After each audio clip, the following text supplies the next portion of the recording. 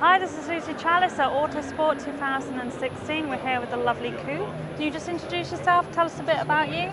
Yeah, uh, my name's Coops, uh, Ryan Cooper. I'm a driver in both the British Drift Championship uh, and also in the Fueltopia Barrel Sprint.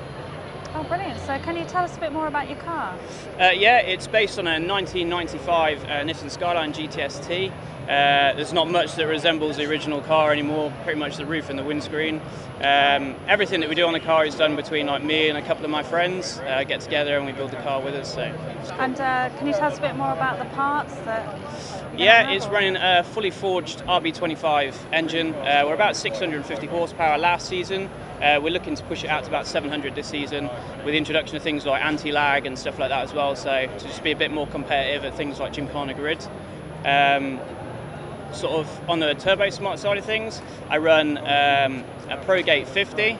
I've run other products in the past for like boost management, like on the wastegate side of things. I've tried like two or three other big manufacturers, and I've been let down in the past when it really counted. Uh, at one competition, I lost all boost controls, so it spiked to like 2.2 bar boost, uh, and almost cost me my engine, and I had like quit that event. Wow. Um, Oh so I moved over to Turbosmart product, and it's pretty much fit and forget. I put it on, and I haven't done anything to it since, and it's been it's been perfect ever since. Uh, the other products I run, I run uh, an FRP 2000, which is a full pressure regulator.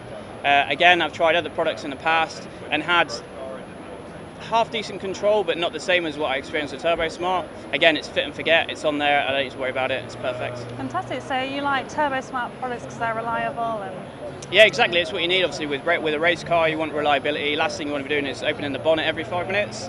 Um, so, like I said, I've fitted them and haven't had to touch them again since. So, just gives you confidence as a driver. You know that the car's not going to let you down. You can focus on the main event. Okay, so um, tell us what your plans are for 2016.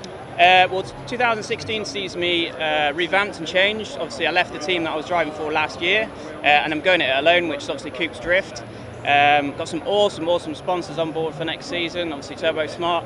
Um, I'm competing in the British Jam- Drift Championships. That'll be the entire season. I'm going to have a little play in the King of Europe Pro Series and also hopefully uh, All Stars as well.